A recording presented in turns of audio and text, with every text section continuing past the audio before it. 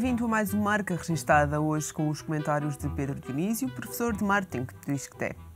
Depois de Super Size Me e de Where in the World is Osama Bin Laden, o documentarista Morgan Spurlock centra as suas atenções no mercado publicitário com The Greatest Movie Ever Sold. Procurando expor a prática de product placement no cinema, o realizador decidiu explorar a ideia de fazer um documentário financiado na sua totalidade por marcas anunciantes e conseguiu, já que vendeu a obra a 15 empresas. The Greatest Movie Ever Sold tem estreia marcada para 22 de abril nos Estados Unidos e estará em Portugal no final deste ano.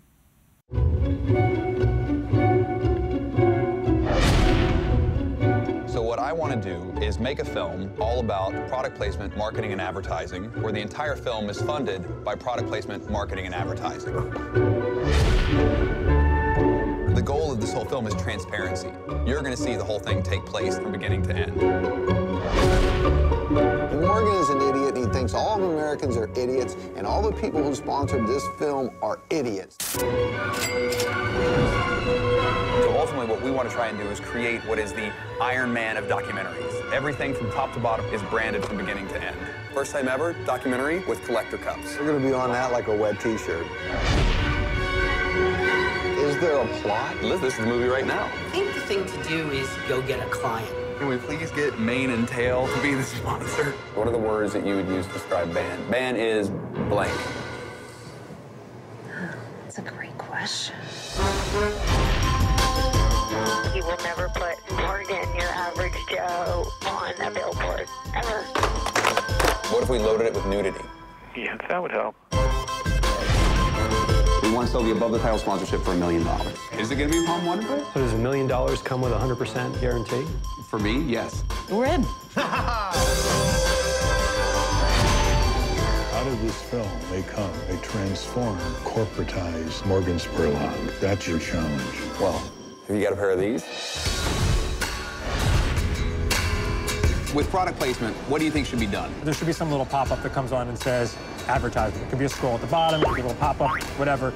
At the moment people are being advertised to, they should know they're being advertised to. What you have now is artists partner up with different brands to kind of get that extra push. Sell, sell, sell.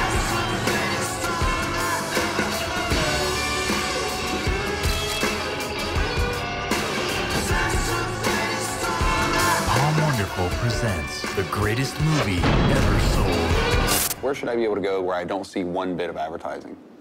To sleep.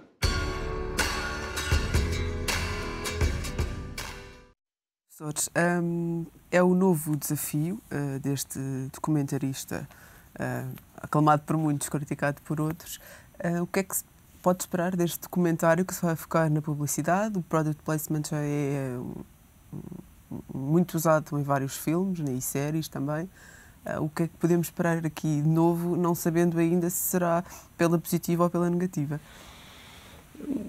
Sinceramente não sei, até porque os, os comentários anteriores foram sempre uh, feitos na perspectiva do exagero e do, e do carregar uh, determinadas situações. Estou-me a lembrar em relação à questão de comer hambúrgueres durante um mês, um mês e meio, todos os dias. Do Super Size Me. Super Size Me, portanto naturalmente um, algo completamente desfasado daquilo que será uma, uma alimentação eh, equilibrada, enfim. É, portanto, agora aqui também não sei se vai, se vai pelo mesmo, Exagerar mesmo exagero na dose, na, na dose, e exagero na dose, nomeadamente na dose de product placement, a certa altura, uh, se o filme vai ser inundado de product placement do princípio ao fim e, portanto, que acabe por um, um pouco anuir ridículo uh, há algum exagero que começa a haver também neste meio. Ainda assim, uh, ele já conseguiu pelo menos 15 marcas. Um, estas 15 marcas, uh, de certa forma, é um risco, não é? Porque tanto pode ser positivo como pode não correr assim tão bem. Sim, é um certo, um certo risco. Enfim, naturalmente que as marcas ao entrar para o, para o filme também conhecem mais dados do que nós conhecemos e, portanto, sabem o que é que que é que estará em causa. Eu não acredito que passem o cheque completamente em claro. branco e, portanto, é natural que tenham medido enfim, a exposição que vão ter eh, com as associações positivas ou negativas que poderão haver a elas pelo facto de estarem ligadas aqui ao filme. Não sei exatamente qual é que é o, o enredo. Em relação ao product placement, eh, já começa a acontecer um, em algumas produções portuguesas, uh, mas ainda temos muito para aprender, sobretudo com os exemplos norte-americanos. Sim, eu acho que o product placement também aparece em virtude dos novos sistemas que permitem que o consumidor escape muitas uhum. vezes à, à, à, publicidade, no sentido em que ele pode evitar evitar ver publicidade. E, portanto, as marcas Uh, e isso, a consequência que tem é que diminui o valor, o valor um, ehm, da publicidade.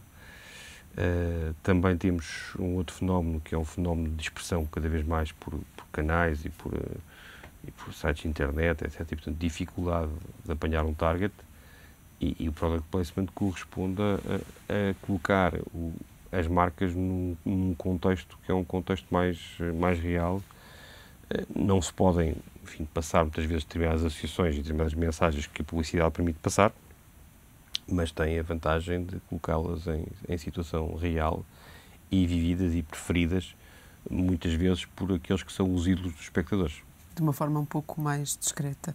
Nós, por cá, teremos que esperar ainda por setembro para ver o que é que este filme nos vai trazer. Vamos então agora para o segundo tema de hoje. O YouTube pretende dissociar-se da imagem de site que abriga produções de produção de vídeos amadores. Segundo uma informação avançada pelo Wall Street Journal, com o intuito de competir com emissoras televisivas, será modificado o interface do site e criada uma programação própria. O site pretende explorar as transmissões de canais de televisão por streaming, uma área que tem crescido de forma significativa. O renovado YouTube terá pelo menos 20 canais dedicados a conteúdos próprios, com temas como arte e desporto. Numa fase inicial do projeto, serão investidos 100 milhões de dólares, mais de 69 milhões de euros. Professor, hum, é que uma inovação para o YouTube, eh, que no fundo até agora foi eh, de, de filmes completamente gratuitos e, e, e, que não tem nada a ver com aquilo que pretende ser a partir de agora. Nós estamos a assistir cada vez mais a uma convergência em relação às plataformas tecnológicas. Uh, o YouTube foi feito numa perspectiva de internet e de computador, mas também está a chegar agora a a uma nova geração. A uma nova geração e, e enfim, é um formato que poderá continuar a ser consumido em, em, em, em portátil, mas poderá também ser consumido em, em smartphones, poderá ser consumido em tablets ou poderá ser consumido em televisões mais tradicionais. Uhum. Portanto, e esta penso eu que, que é sobretudo aqui a, a tendência é, é, para poder uh, haver aqui um, uma, uma capacidade de chegar às televisões uh, tradicionais, com os, aos formatos maiores. Um, e, portanto, aí os, os, filmes de maior dimensão, os conteúdos de outra dimensão, também serão uma forma do YouTube se poder afirmar por essa, por uhum. essa via. Mas e sendo... aí entra em competição a uma escala planetária, tal como faz neste momento, um, relativamente a, a, a, a outros canais de televisão. Outros, canais, e outros canais de televisão, independente do país. E não pode ser eh, um pouco perigoso esta concorrência para os canais de televisão, nomeadamente? Ah, claro. Eh, esta questão de estarem, estarem ao abrigo da, da concorrência já, já passou e, portanto, significa que uh, em cada país podemos ver chegar por esta via, que é uma via que muitas vezes os canais tradicionais não estavam preparados e não uhum. estavam a pensar nela, uh, chegar, chegar concorrentes com uma, uma abordagem bastante, para já, bastante global. Até porque os canais, uh, os canais temáticos normalmente estão uh, tem uma plataforma que é paga, não é? E, e, neste caso com o YouTube, provavelmente ainda não sabe muito bem o formato, mas se, se pelo menos for como até agora, será completamente Exatamente. gratuito. Portanto, isso será uh, uma forma bastante inovadora. Em relação e, e à internet. Com, com as televisões por cabo, naturalmente. Claro. Em relação à internet, pode também mudar aqui a forma como usamos uh, o computador e com todas estas novas tecnologias que já falámos aqui, o tablet, os, os Sim, eu acho sobretudo nesta perspectiva da, da convergência e de não haver aqui grandes diferenças entre uh, os diferentes formatos de emissão e os diferentes formatos de, de recepção e, e, portanto, estas tradicionais barreiras entre um lado e outro estão, estão também a, estão a esbater-se. Para o consumidor, é bom ou é um excesso de informação? Não parte do princípio que haja excesso, o consumidor tem mais oportunidades de, de seleção uh, e ele vai fazer naturalmente a seleção que achar mais conveniente.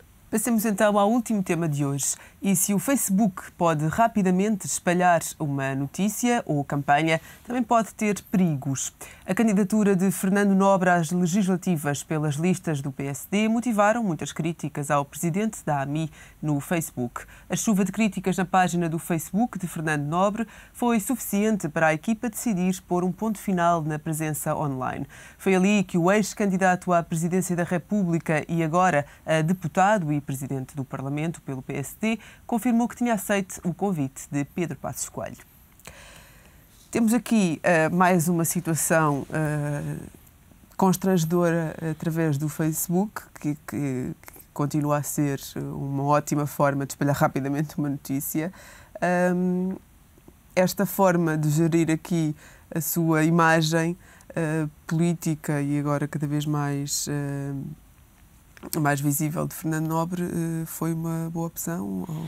Não, penso que não. Eh, é assim, para já ele é, só candidato, não é ainda, não é ainda líder de Parlamento, é candidato a líder de Parlamento. E pelo que já se viu, dificilmente lá será, não é?